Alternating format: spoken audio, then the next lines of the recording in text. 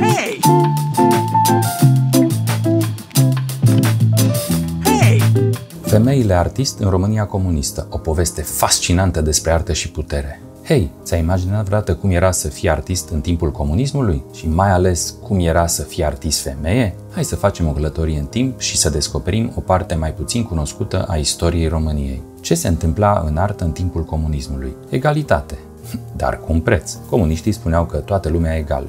Cool, nu? Dar stai puțin, că nu era chiar așa de simplu. Artă cu mesaj. Artiștii nu puteau să picteze orice. Trebuiau să arate cât de grozav e comunismul. Imaginează-ți că în loc să desenezi ce vrei tu, trebuie să faci portrete ale liderilor sau să arăți cât de fericiți sunt muncitorii. Femeile ies la rampă. Pentru prima dată, multe femei au devenit artiste recunoscute. Aveau joburi full-time, făceau ilustrații pentru cărți, design, sculpturi în parcuri și chiar picturi uriașe pe clădiri ce teme abordau artistele. Mame fericite cu copii, femei muncitoare în fabrici, țărânci culegând recolta, oameni care construiesc viitorul luminos al țării. Sună oarecum diferit de ce vezi azi pe Instagram, nu? Câteva lucruri interesante. Școli de artă. Existau școli. Ateliere celebre conduse de artiști precum Max Herman Maxi și Camil Resu, unde învățau viitoarele artiste. Călătorii în străinătate. Unele artiste ajungeau să expună în alte țări. Era super tare, pentru că puțini români puteau călători în afara țării pe atunci. Artă mare pentru locuri publice. Femeile artiste au făcut sculpturi uriașe, mozaicuri și tapiserii pentru clădiri, parcuri și piețe, premii și faimă. Multe au câștigat premii și au devenit celebre. Dar, ghici ce? Trebuiau să fie membre ale Partidului Comunist pentru asta. Partea complicată. Libertate limitată.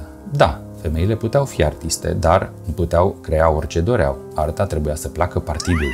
Dublu joc. Unii artiști făceau artă diferită pentru România și pentru străinătate. În țară era artă comunistă, afară era artă mai modernă secrete și tăcere. După căderea comunismului, te-ai fi așteptat ca artiștii să vorbească despre cum au rezistat sistemului. Dar, liniște.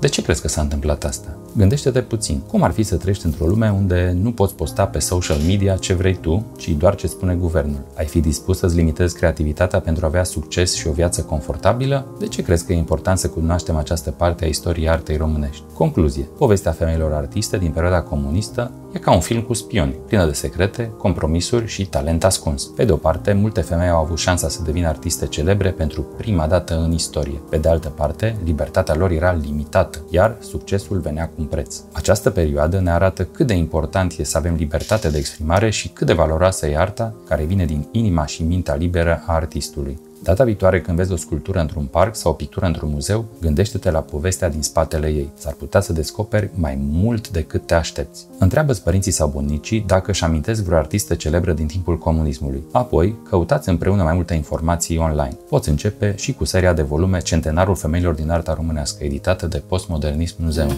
Hey!